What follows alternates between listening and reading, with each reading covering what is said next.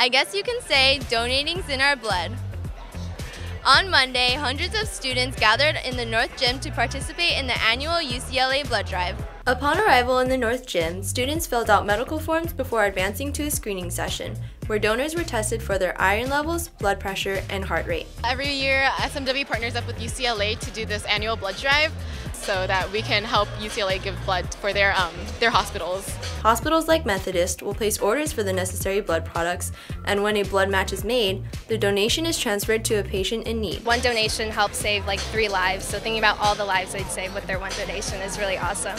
Despite the recent flu outbreak, the total number of donors remained unaffected, with 189 units of blood collected by the end of the day. We want to say thank you to all the donors who came and participated and hopefully they had a good time because our goal is just to like have them all be long-time donors. The blood donors' efforts definitely weren't in vain. Thank you for all your support Apaches. This has been Melanie. Now back to you guys in the studio.